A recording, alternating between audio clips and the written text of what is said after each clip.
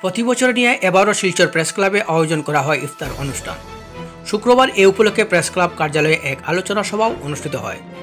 এই অনুষ্ঠানে ইসলাম ও সংযম বিষয় নিয়ে বক্তব্য রাখেন অতিথিরা।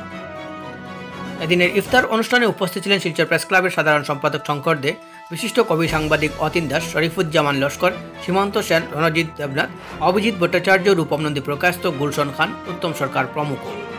শিলচর থেকে বিশ্বজিৎ আচার্যের রিপোর্ট। রেওয়াজনীতি বলতে চাই যে সকলের উপর শান্তি বর্ষিত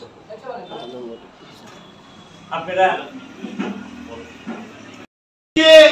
আলোকিত করে প্রথমত দ্বিতীয়ত হচ্ছে গিয়ে আজকে এখানে ইসলাম হয়ে থাকবে।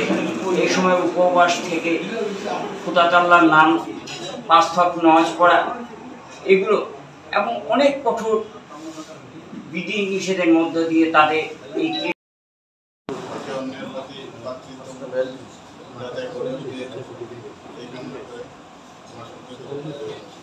শিলচর প্রেস ক্লাবের উদ্যোগে প্রতি বছরের মতো ইফতার অনুষ্ঠান হচ্ছে এবং দু হাজার সাত সাল থেকে প্রতি বছরই এই ইফতার অনুষ্ঠান হয়ে থাকে।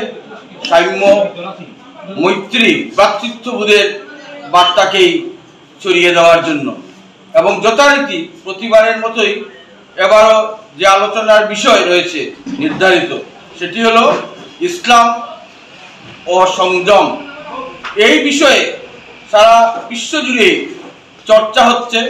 আবহমান কাল থেকেই ধর্মে ধর্মে যে সম্প্রীতির বন্ধন রয়েছে এবং ধর্মের মাধ্যমে মানুষের জীবনকে উন্নততর আরও এগিয়ে নেওয়ার জন্য যে লক্ষ্য রয়েছে, সেটি সমগ্র বিশ্বকেই নানাভাবে দিশা দেখায়, আন্দোলিত করে।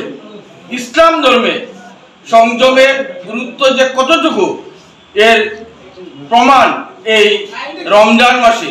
মাসভর, একাধারে জলাহার, পানাহার, সমস্ত কিছু থেকে বিরত থাকতে হয়। কিন্তু সেটি শুধু রোজাব্রত বা শ্যাম সাধনা নয়। সেই শ্যাম সাধনার মধ্যে রয়েছে যারা বহু কিছু নিজেকে পালন করতে হয়। নানা ধরনের ধর্মীয় আচার রয়েছে, পাশাপাশি রয়েছে যে মানুষের যে জীবন, যে আশরাফুল মকলুকাত বলা হয়, যে সর্বশ্রেষ্ঠ